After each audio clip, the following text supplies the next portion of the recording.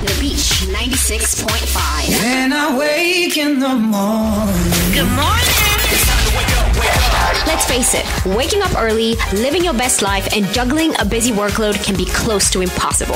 But your morning routine is important. It sets the tone, pace, and energy for the rest of the day. If you hit the snooze button several times, rush your way through getting ready, and end up in rush hour traffic, you'll feel like you're in a constant race for the rest of the day. Hi, I'm Liza, host of Wake Up to Power Up. Every Monday at 4 a.m., throw those covers off and be refreshed and ready to make the day amazing.